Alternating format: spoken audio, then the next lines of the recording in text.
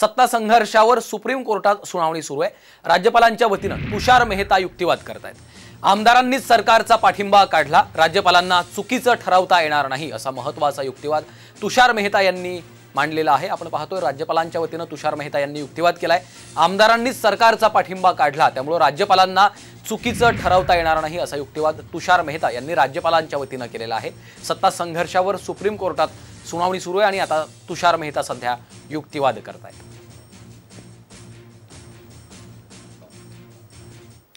सत्ता संघर्षावरील सुप्रीम कोर्टातल्या सुनावणी दरम्यान सरन्यायाधीशांनी राज्यपालांच्या भूमिकेवर प्रश्नचिन्ह उपस्थित केलेत. राज्यपालांनी सरकार पाडण्यात मदत करू नये त्यांनी आपल्या मर्यादेत राहावं असं परखड भाष्य सरन्यायाधीशांनी केलंय. सत्ता संघर्षाच्या काळात जशी परिस्थिती होती त्या परिस्थितीत राज्यपालांनी बहुमत चाचणीचे निर्देश देणं हे सरकार पाडण्यासाठीचं पाऊल होतं. सरकार पाडण्यासाठी राज्यपालांनी असं कृत्य करायला नको होतं. कारण आता अशा परिस्थितीत विश्वासमत मागणं लोकशाहीसाठी घातक असून त्यावर मी व्यक्तिशः नाराज असल्याचं निरीक्षणही सरन्यायाधीशांनी नोंदवलं. आज राज्यपालांच्या वतीनं तुषार मेहतांचा युक्तिवाद पार पडला. त्यावेळी सरन्यायाधीशांनी हे परखड भाष्य केलंय. याशिवाय तीन वर्षात एकदाही आमदारांची नाराजी का दिसली नाही? याचा राज्यपालांनी विचार करायला हवा होता. तीन वर्षात एकही पत्र लिहिलं नाही आणि एका आठवड्यातच सहा पत्र कशी लिहिली? असा सवाल करत एका रात्रीतच तीन वर्षांचा सुखी संसार कसा मोडला? अशा प्रश्नांची सरबत्तीच सरन्यायाधीशांनी केली आहे.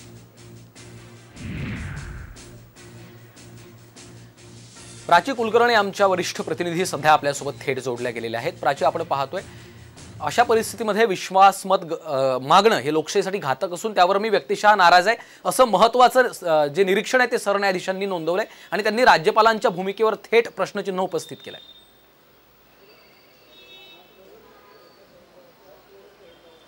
अर्थातच श्रीकांत पहिल्या टप्प्यामध्ये ज्यावेळेला सुनावणी झाली त्यावेळेला सरन्यायाधीश चंद्रचूड यांनी अनेक महत्त्वाच्या टिप्पण्या केल्या अनेक महत्त्वाचे सवाल उपस्थित केले.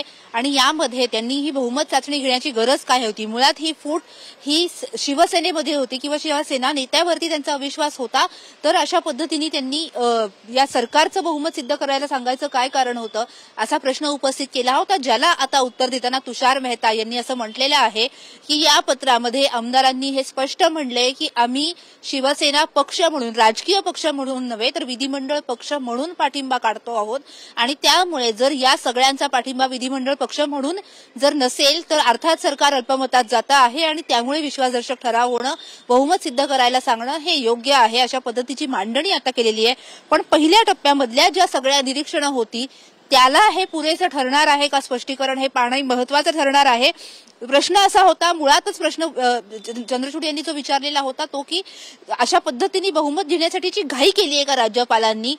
शिवसेनेमधला अंतर्गत वाद जो होता तो शिवसेना अंतर्गत पद्धतीने आपापला सोडवू शकली नसती का?